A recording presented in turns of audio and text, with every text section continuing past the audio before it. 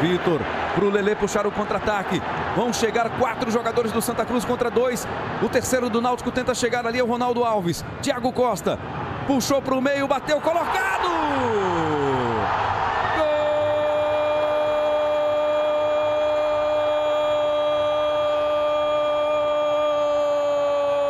Gol do Santa! Thiago Costa! 23 agora 24 do segundo tempo. O Santa faz 3 a 0 em cima do Náutico.